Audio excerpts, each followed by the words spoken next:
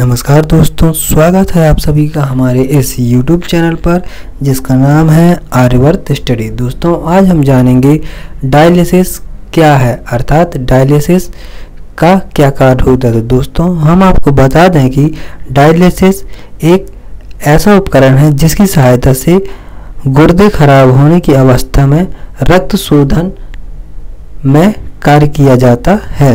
दोस्तों जब किसी व्यक्ति के वक्र यानी गुर्दे सही से काम नहीं कर रहे होते हैं, तब गुर्दे से जुड़े रोगों लंबे समय से मधुमेह के रोगी, उच्च रक्तचाप जैसी स्थितियों में कई बार डायलिसिस की आवश्यकता पड़ती है।